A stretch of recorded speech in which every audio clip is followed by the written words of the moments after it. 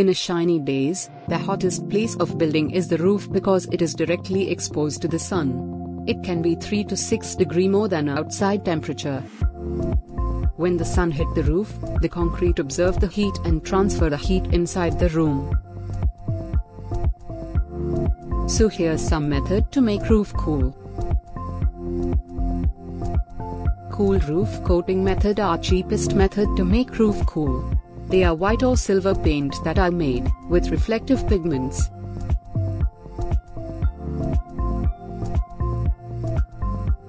If you have a flat roof then you can add a layer of reflective gravel to protect the roof from sunlight. Add 1 to 2 inch layer of gravel which cover the roof. It will help to reflect the heat.